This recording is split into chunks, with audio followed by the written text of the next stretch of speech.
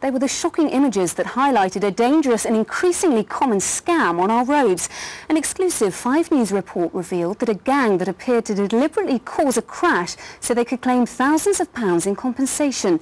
Police and insurance companies are warning this kind of tactic is happening more often and say they're now fighting back against the scammers. Our crime correspondent Jason Farrell reports. We hear about insurance scammers orchestrating accidents on our roads, but rarely do we get to see how they do it.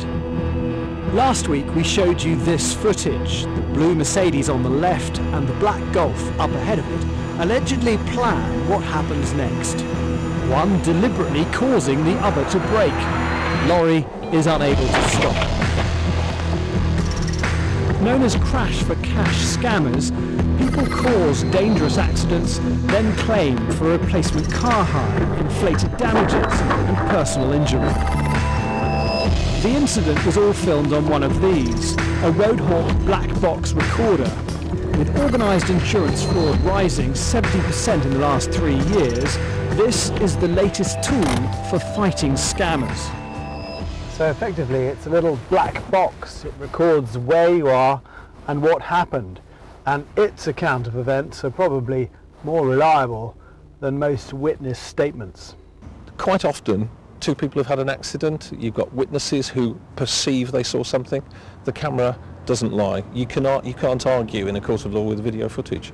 Liz Eckroyd was caught in a deliberate crash where the scammers even claimed injury for more people than were in the car. We weren't travelling slow, we were on a due carriageway. This person, or these people, were essentially playing with people's lives.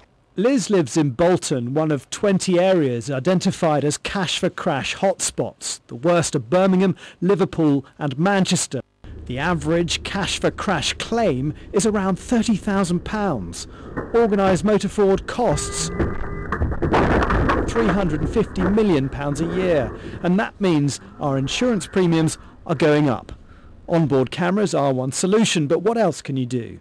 You've got a mobile phone. The, uh, sometimes these, these induced collisions don't cause the damage that uh, the fraudsters would like, so they take the car away and they add damage to it. Mm. Um, if you've got a mobile phone, photograph the damage, photograph the positions of the vehicle, photograph the occupants of the other vehicle.